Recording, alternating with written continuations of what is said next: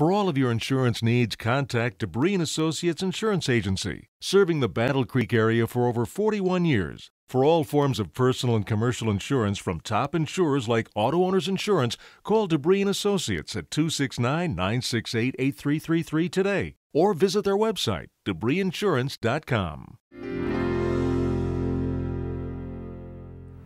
For children ages 4 to 8 who are shorter than 4 feet 9 inches, booster seats lift them up so the vehicle safety belt fits properly and better protects them in a crash.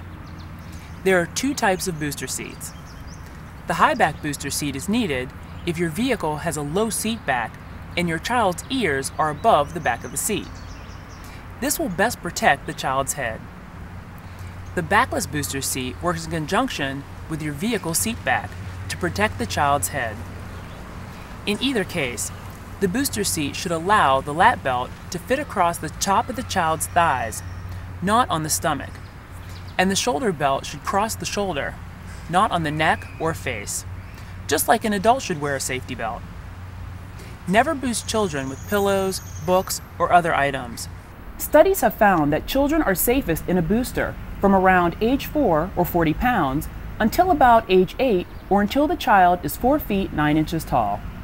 And Michigan law says that if a child is under 16, they must wear a safety belt in all vehicle positions, including the back.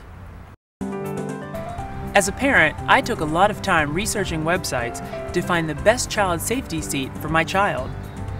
But it took information like I've shared with you to make me realize that even the highest rated product, when not used properly, isn't as effective if we're involved in a crash.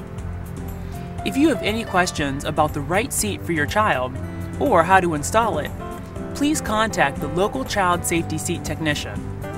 They're a great additional resource and can help make sure the seat is installed correctly.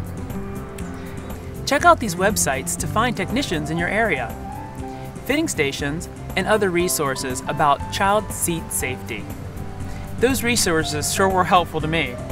And I hope this video and the websites are helpful in protecting your family's youngest members.